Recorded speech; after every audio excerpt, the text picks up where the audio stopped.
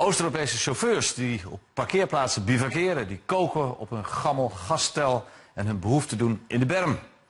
De voltallige Tweede Kamer wil dat er een einde komt aan dit soort toestanden. En toch zette minister Schultz en haar inspectie de voet dwars. Een verbod is niet te handhaven, zeggen ze. Maar is dat ook zo? Good afternoon. Hier bivakeren ieder weekend tientallen Oost-Europese chauffeurs. Die werken feitelijk voor het bedrijf dat hier onder, onder de hoek zit. Voor het transportbedrijf dat hier onder de hoek zit. En dat transportbedrijf rijdt weer voor IKEA, voor Unilever. Dus het is eigenlijk heel eenvoudig. Deze jongens die rijden de billies. De cât timp nu ai mai dormit acasă în patul tău în România? Ze zijn lang van huis en verdienen een schamel loon. In het weekend koken ze daarom voor de hele week. Slapen doen ze in de vrachtwagen. Câinii la ora actuală doarme în pat, unde doarme la ei în casă, dar noi nu, nu dormim în casă. Gijs, wat verkoopt het best? Stamppotjes in de winter, ja. Stamppotjes in de winter. En ja, bij, bij de hardlopen bij ons zijn, de- is het, eh, is het ons bekende draadjesvlees. Heren, Ton Naber heeft al 18 jaar een wegrestaurant met 60 parkeerplaatsen aan de A73 ten zuiden van Nijmegen. Hij houdt alles strak in de gaten. Waar let u nou op? nou, die komt wel binnen. Kijk naar het kenteken. Als dat een eh, Oost-Europese chauffeur is, dan weten we dat hij niet binnenkomt. Is een Fransman. Die houden van lekker eten. Die komt wel binnen. Nou, ja, ons, onze lijn is dus gewoon het verteren is parkeren. Niet verteren, niet parkeren. Dus als ze geen gebruik maken van het restaurant, kunnen ze gewoon ergens anders naartoe. My boss, big stay here. It's free time here. Good money, no problem. But no. Ton Naber zit op eigen terrein en kan daarom zijn eigen regels handhaven. Veel collega's van Naber kunnen dat niet. Nou, die zitten dus op erfpacht van Rijkswaterstaat. En die zitten dus aan het hoofdwegennet. En daar eh, eh, gelden andere regels. Die mogen dat niet weigeren. Wie moet het dan handhaven daar? Ja, dat zou Rijkswaterstaat moeten doen. Maar doen ze dat? Nee. Waarom niet? Eh, ik denk dat je dat aan mevrouw Schultz moet vragen. Ce soir. Oké, d'accord. Merci. Oui, c'est bon, c'est bon. Merci. Hij mag blijven? Ja, Want? die komt lekker eten dadelijk. Dus eh, ja, die komt gewoon lekker eten. En wie verteert, parkeert. Daarmee blijft het wegrestaurant van Ton Naber West-Europees. Oost-Europese truckers zien ze niet als echte collega's. We moeten niks van, ze stinken toch alleen maar. Wat zie je van ze onderweg? Ja, troep, overal pak- pakjes overal liggen vol met rotzooi. En ja, dat zijn gewoon vieze lui, dat zijn niet echt hygiënisch of zo. Chauffeurs zijn geen overlastveroorzakers. Het zijn de opdrachtgevers van die chauffeurs en die bazen van die chauffeurs. En een hele korte klap is dat bivakeren in de cabines, dat is gewoon verboden. Dat is al vanaf 2006 verboden. Gewoon handhaven. Handhaven is precies wat de Kamer begin december eist van verantwoordelijk minister Schultz. In een motie wijst de Kamer Schultz op de regel dat meer dan 45 uur bivakeren in de vrachtwagen een overtreding is, waarop een boete staat van 1500 euro. 19 december dit jaar schrijft de minister een antwoord aan de Tweede Kamer. Ik ben geen voorstander van een verbod. Verder is niet duidelijk hoe dit praktisch gezien langs de weg gehandhaafd zou moeten worden. Toch constateert de inspectie wel overtredingen, maar geeft daarvoor geen boete. Gedogen dus. Dat blijkt namelijk uit interne documenten van het ministerie van Infrastructuur en Milieu, die één vandaag in handen heeft. De chauffeurs staan gedurende weekenden op parkeerplaatsen in een zodanige situatie dat de wekelijkse rusttijd in de cabine van de vrachtauto wordt doorgebracht. En dat is een strijd met een Europese regel die overal in de EU zou moeten gelden. De ce dormi în, uh, în camion și nu în, într-un hotel pe, pe drum? Deci așa este. Pe hotel dormim doar în Franța. Când ne apucă face 45, dar pe Franța dormim la hotel. De verschillen in Europa zijn dat er een aantal landen zijn die willen dat dit gehandhaafd wordt. Namelijk Frankrijk, namelijk België. Duitsland is op het moment bezig om het strafbaar te stellen. In Nederland is het strafbaar gesteld. Schulz moet gewoon de Europese wet handhaven. Punt. Schulz handelt in strijd met Europese wetgeving. Daar zijn deze chauffeurs het slachtoffer van. Daar zijn de bedrijven slachtoffer van die hun best doen om de regels wel na te leven. Schulz die houdt dat willens en wetens, houdt ze dat gewoon in stand. De Roemeense chauffeurs hopen intussen dat Nederland de Europese regel net zo streng gaat handhaven als Frankrijk. Foarte bine. Pentru că în felul următor suntem și noi mai des acasă, Minister Schultz wil een uitspraak van het Europese Hof afwachten voordat er tegen de chauffeurs wordt opgetreden. De volledige reactie van de minister staat op onze website. De Commissie voor Sociale Zaken en Werkgelegenheid. De onderwerpen zijn nogal breed. Het is arbeidsmigratie, loondoorbetaling bij ziekte, arbeidsongeschiktheid en arbeidsmarktbeleid. Er staat nogal een stapel uh, op de agenda. Hartelijk welkom aan de minister en al zijn medewerkers. Van, van harte welkom. Welkom aan de collega's. Uh, welkom aan de mensen die hier aanwezig zijn en, en, meekijken. U kunt alle vragen stellen, heb ik net gehoord. Dus, uh, en die worden ook van een antwoord voorzien.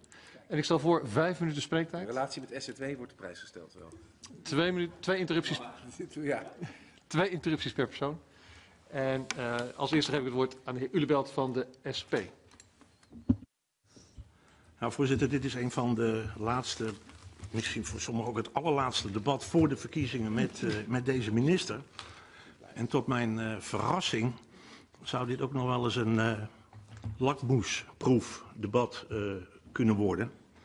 Um, want we zitten met een kamerbrede uitspraak, namelijk de uitspraak om het verbod op het doorbrengen van de weekendrust op parkeerplaatsen te handhaven. En voorzitter, de minister zal het met me eens zijn dat je truck is geen tent en je cabine dat is geen caravan. En veel chauffeurs die kunnen die weekendrust niet naar eigen inzicht doorbrengen. Terwijl dat wel in de Europese verordeningen staat.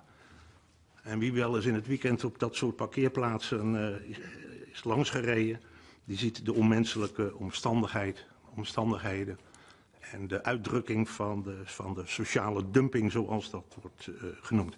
De Kamer heeft een hoorzitting gehouden over de sociale omstandigheden in het transport en daar werd dit probleem ook zeer nadrukkelijk onderstreept.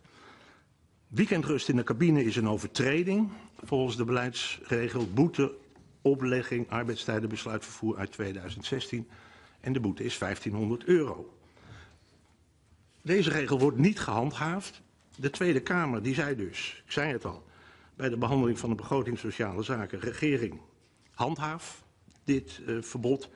Maar de regering voert die motie niet uit. Minister Schultz heeft ons een brief geschreven waarin ze zegt dat ze tegen dat verbod uh, is. Uh, terwijl ze wel in 2016 haar handtekening onder die, regel zette. En de vraag aan deze minister is dus, is minister van Sociale Zaken Werkgelegenheid wel voor het uh, voor het verbod? In haar brief verwijst het minister Schultz naar het Europees Hof. Die kijkt nu naar een Belgische zaak. België handhaaft, handhaaft namelijk wel, Duitsland ook, Frankrijk ook, Oostenrijk ook. Maar we hebben nu duidelijkheid. De advocaat-generaal van het Europees Hof heeft gezegd in die Belgische zaak, en dat is een soortgelijk verbod als wat wij hebben, dat de EU, de Europese verordening, dat verbod kan inhouden en mag worden gehandhaafd. Dus de bezwaren die minister Schultz uh, in haar brief noemde, die zijn weg.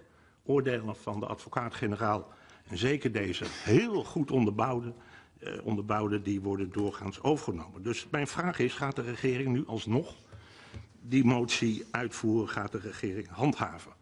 Er kwam nog iets bij deze week. Een Nederlandse rechter die besliste in een zaak dat uh, dit verbod uh, ook geldig is. Sterker nog, die legde bij overtreding van dit verbod een dwangsom op van 5000 euro. Nu weet iedereen dat deze minister graag de vrienden van de chauffeurs wil, uh, wil zijn. Uh, mooie persberichten, samen op pad voor een eerlijke goederenvervoer en dat soort dingen. Uh, waar staat de minister nu? Gaat de regering, nu we nieuwe, deze nieuwe inzichten hebben, dat, die, dat verzoek van de Kamer alsnog uitvoeren, nu die juridische vragen die een belemmering vormden zijn beantwoord? Voorzitter, we hebben de lijsttrekker van de Partij van de Arbeid in ons midden. En dat is best bijzonder. En die lijsttrekker die doet allerlei voorstellen. Ik noem er een paar. 100 arbeidsinspecteurs erbij. En weer een banenplan voor het noorden.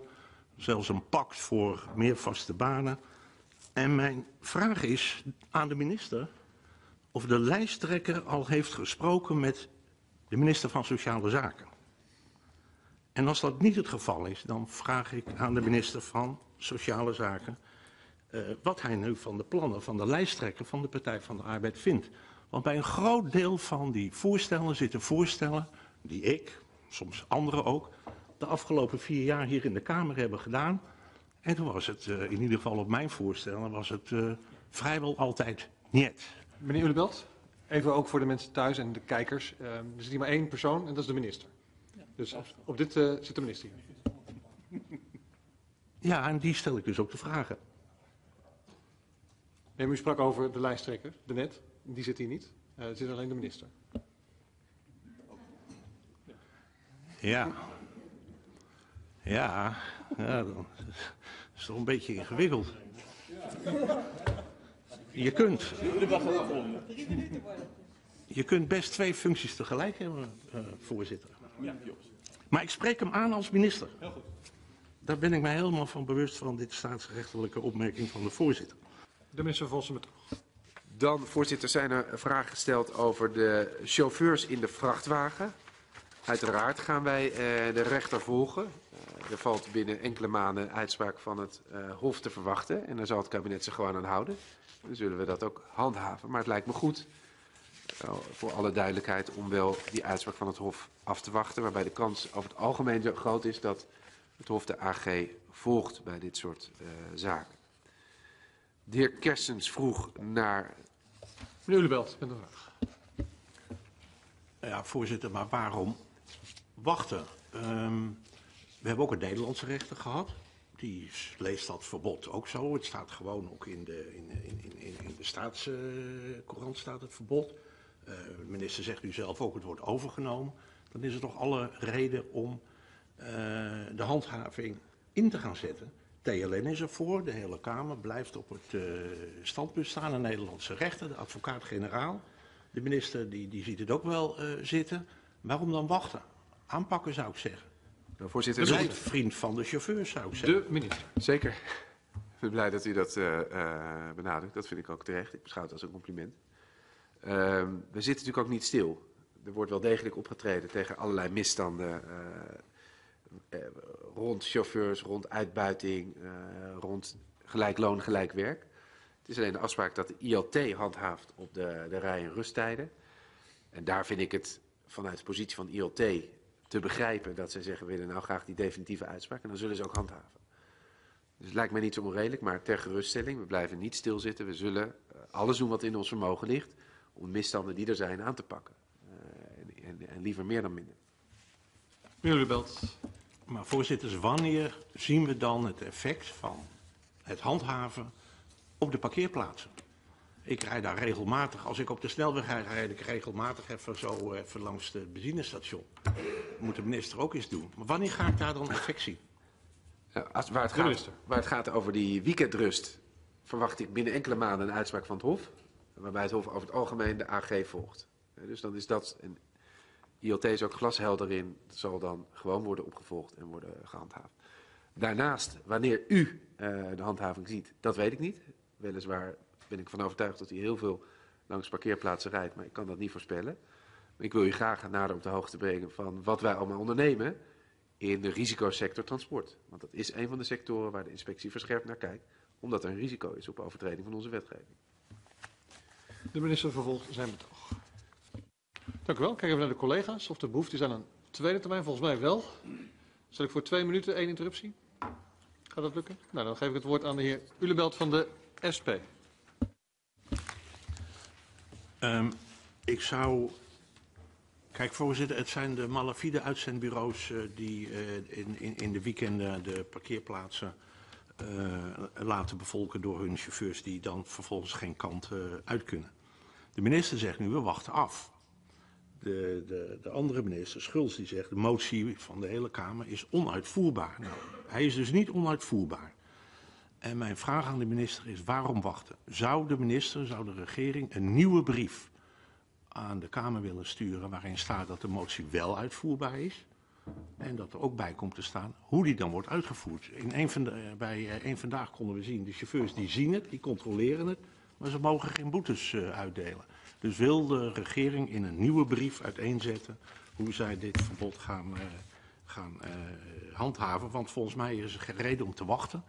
België doet het, Duitsland eh, doet het. En willen we, zoals TLN opmoort, nee, voorkomen dat Nederland eh, de parkeerplaats wordt voor, eh, voor de buurlanden. Met alle sociale gevolgen van dien. Eh, dat willen we toch voorkomen, dat wil deze minister ook. De minister gaat gelijk antwoorden voor de tweede termijn. Voorzitter, dank u wel.